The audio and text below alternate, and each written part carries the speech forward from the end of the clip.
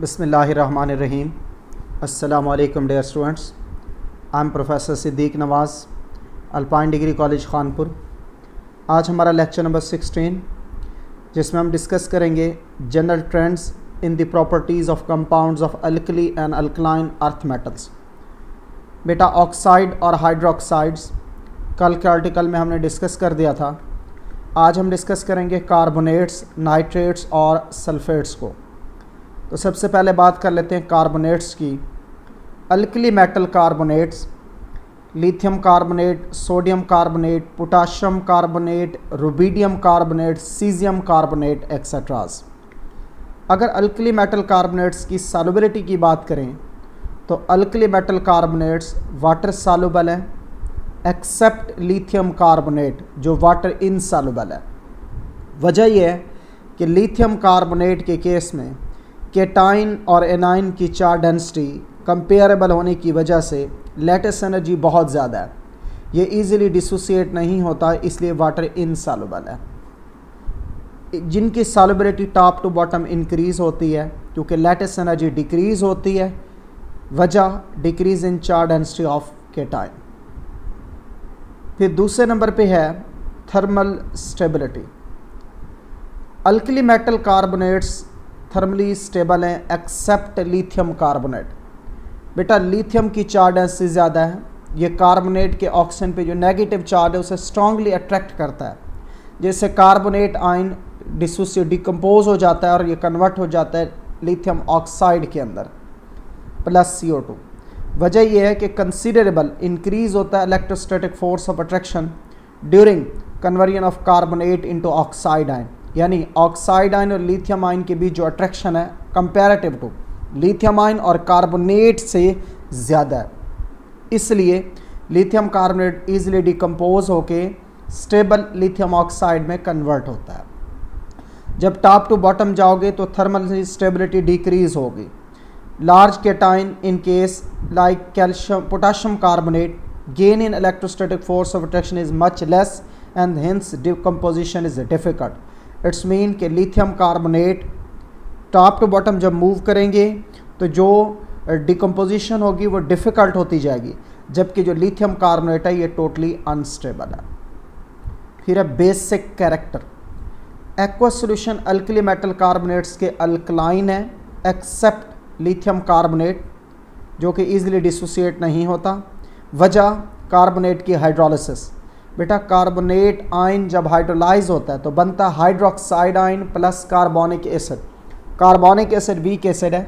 Hydroxide ion की formation की वजह से इनके एक्वस सोल्यूशन होते हैं अल्कलाइन जैसे सोडियम कार्बोनेट को जब वाटर में डाला है बना sodium hydroxide strong base plus carbonic acid weak acid तो सोडियम हाइड्रोक्साइड स्ट्रॉन्ग बेस है, ये कम्प्लीटली आयनाइज हो जाता है. इसलिए इस सोडियम कार्बोनेट का जो एक्वस सोल्यूशन है, वो अल्कलाइन है। Sodium carbonate important industrial chemical है। इसका ट्रांजिशन टेम्परेचर है 35.2 डिग्री सेल्सियस 35.2 डिग्री सेल्सियस से बिलो सोडियम कार्बोनेट क्रिस्टलाइज होता है एज सोडियम कार्बोनेट डेकाहाइड्रेट जिससे बोलते हैं वाशिंग सोडा जबकि अबव 35.2 डिग्री सेल्सियस पे ये क्रिस्टलाइज आउट होता है from water as sodium carbonate monohydrate. जब इसे एयर में रखते हैं तो sodium carbonate decahydrate slowly loss करता है वाटर को और ये कन्वर्ट हो जाता है white powder sodium carbonate monohydrate में। फिर कुछ फार्मूलाज हैं। वाशिंग सोडा होता है sodium carbonate decahydrate, soda ashes sodium carbonate, natron होता है N A two C O three dot H two O एक टर्म है efflorescent substance a substance that slowly loses water molecules on standing in air, is called efflorescent substance, जैसे sodium carbonate decahydrate फिर है बेटा alkaline earth metal carbonates जैसे beryllium carbonate calcium carbonate magnesium carbonate strontium carbonate etceteras इनकी solubility की बात करें तो alkaline earth metal carbonate slightly soluble है वाटर के अंदर। इनकी solubility top to bottom decrease होती है क्योंकि लेटेस्ट एनर्जीज इंक्रीज होती हैं। और लेटेस्ट एनर्जी के इंक्रीज होने की वजह comparable size of cation and anions and closing packing increases down the group फिर एक है बायकार्बोनेट्स बेटा, तमाम बायकार्बोनेट अल्कली और अल्कलाइन अर्थ मेटल के वाटर सालुबल हैं। थर्मल स्टेबिलिटी की बात करें तो ऑल बायकार्बोनेट अल्कली और अल्कलाइन अर्थ मेटल के थर्मली अनस्टेबल है। डिकम्पोज होकर रिस्पेक्टिव ऑक्साइड देते हैं, साथ ही कार्बन डाइऑक्साइड और वाटर बनता है। अल्कली मेटल बायकार्बोनेट जब डिकम्पोज होता है, बनता है metal oxide plus carbon dioxide plus water जबकि अल्कलाइन अर्थ मेटल बायकार्बोनेट जब डिकम्पोज होता है तब भी बनता है metal oxide plus carbon dioxide plus water thermal stability की बात करें तो alkaline earth metal carbonate thermally unstable हैं, ये डिकम्पोज होते हैं on heating into their oxides जो एस ऑफ़ जो ईस ऑफ़ डिकम्पोजिशन है डिक्रीज़ होता है डाउन द ग्रुप क्योंकि साइज़ ऑफ़ केटाइन बढ़ता है. जब केटाइन का साइज़ बढ़ेगा चार डेंसिटी कम हो जाएगी पोलराइजिंग पार कम हो जाएगी तो उसके नतीजे में एनाइन ईजली डिकम्पोज नहीं होगा। यही वजह है कि इनकी thermal stability top to bottom बढ़ती है। इनके smaller cation the resulting oxide will have a greater lattice energy and hence more stable अब देखें, कैल्शियम कार्बोनेट के केस में ये अनस्टेबल है। कैल्शियम ऑक्साइड बना है, ज़्यादा स्टेबल है। कैल्शियम ऑक्साइड की लेटेस्ट एनर्जी ज़्यादा है, कैल्शियम कार्बोनेट की कम है। तो अनस्टेबल से स्टेबल की तरफ़ जा रहा है। समालर केटाइन वाले कार्बोनेट में ये ईजियर है लार्जर साइज़ वाले केटाइन में ये डिफ़िकल्ट होगा। फिर हैं जी नाइट्रेट्स पहले है अल्कली मेटल नाइट्रेट्स बेटा सॉलिबिलिटी की बात करें तो alkali metal nitrates water soluble हैं और इनकी सॉलिबिलिटी इंक्रीज होती है down the group due to decreasing lattice energy of the nitrate thermal stability की बात करें तो alkali metal nitrate thermally unstable है। ये डिकम्पोज होते हैं into nitrite and oxygen except lithium nitrate जो डिकम्पोज होकर लिथियम ऑक्साइड NO2 और O2 देता है। जैसे लिथियम नाइट्रेट डिकम्पोज हुआ lithium oxide plus NO2 plus oxygen जबकि बाकी नाइट्रेट्स अल्कली मेटल के मेटल नाइट्राइड्स प्लस ऑक्सीजन देते हैं। ये एक एमसीक्यू भी है और शॉर्ट क्वेश्चन भी है।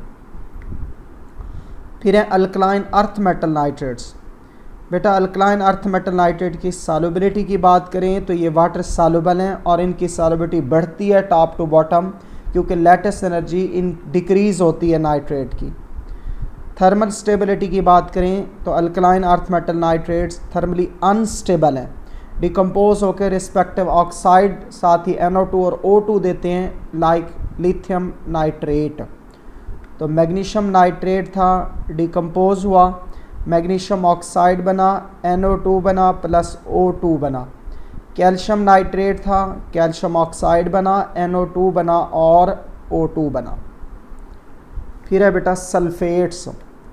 अल्कली मेटल सल्फेट्स की बात करें तो ये सालोबल हैं वाटर के अंदर और इनकी सालोबिलिटी टॉप टू बॉटम बढ़ती है, क्योंकि लेटेस्ट एनर्जीज सल्फेट की डिक्रीज़ होती हैं अल्कली मेटल्स के केस में, क्योंकि केटाइन का साइज़ बढ़ता जाता है उस सूरत में जो चार्ड एस ऑफ़ केटाइन है वो डिक्रीज़ होती है तो केटाइन और एनाइन के साइज़ कंपेरेबल ना होने की वजह से इस केस में जो सालबिलिटी है, टॉप टू बॉटम इंक्रीज़ होगी और लेटेस्ट एनर्जी डिक्रीज़ होगी।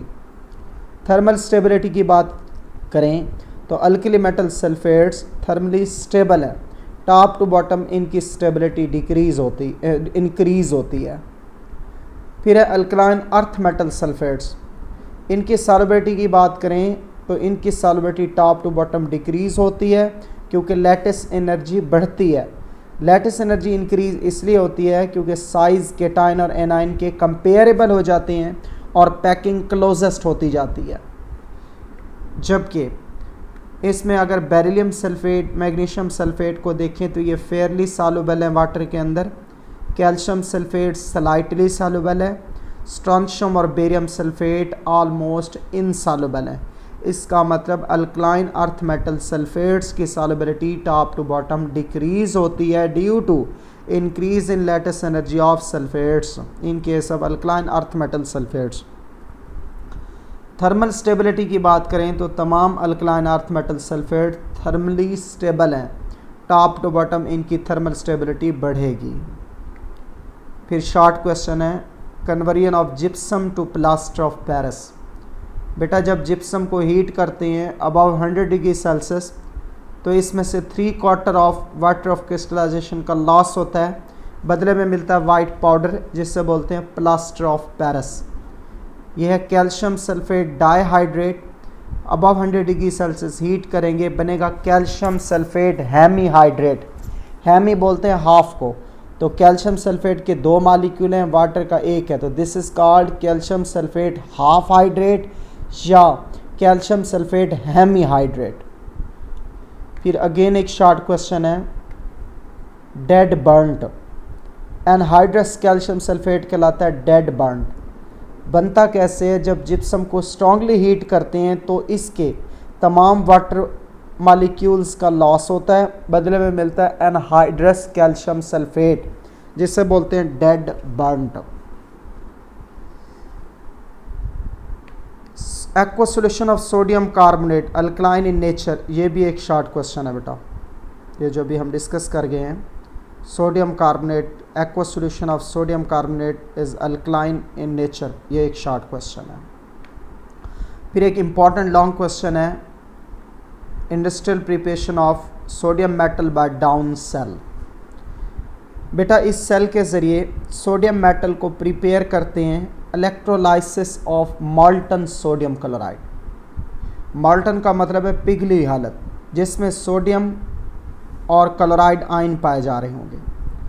मेल्टिंग पॉइंट सोडियम क्लोराइड का है 801 डिग्री सेल्सियस इसमें डालते हैं calcium chloride as an impurity ताकि इस सोडियम क्लोराइड के मेल्टिंग पॉइंट को डिक्रीज़ करके 600 डिग्री सेल्सियस पे ऑपरेटस को वर्किंग में लाया जा सके। अब इस सेल की कंस्ट्रक्शन की बात करें तो ये इलेक्ट्रोलाइटिक सेल स्टील टैंक से बना हुआ है। ये टैंक जो वो फिल्ड होता है with molten mixture sodium chloride and calcium chloride जो यूज़ होते हैं as an electrolyte at 600 degree Celsius. एक लार्ज ब्लॉक ग्रेफाइट का एक्ट करता है एनोड जो कि बॉटम में सेंटर में प्लेस होता है स्टील टैंक के। इससे ऊपर, इस एनोड के ऊपर एक डोम है, जो कलेक्शन ऑफ़ क्लोरीन के लिए यूज़ होता है। सर्कुलर बार कॉपर या आयरन कैथोड जो सराउंड करता है इस एनोड को। एनोड और कैथोड को सेपरेट किया जाता है आयरन स्क्रीन के ज़रिए, जो ख़त्म होती है गाज आयरन गाज के अंदर। इसका पर्पज़ ये गाज का कि ये अलाउ करेगी इलेक्ट्रिक करंट को कि वो पास हो फ्रीली बट सोडियम और क्लोरीन को मिक्स होने से रोकेगी। ये डायग्राम है, ये सर्कुलर बार है ग्राफ ग्रेफाइड का जिसे हम एनोड बोलते हैं। ये आयरन कैथोड है इधर से भी और इधर से भी। ये आयरन स्क्रीन है, जिसका मकसद है सोडियम और क्लोरीन को आपस में मिक्स होने से रोकना। और करंट की पैसेज को अलाउ करना। ये सोडियम क्लोराइड और कैल्शियम क्लोराइड मॉल्टन स्टेट के अंदर है।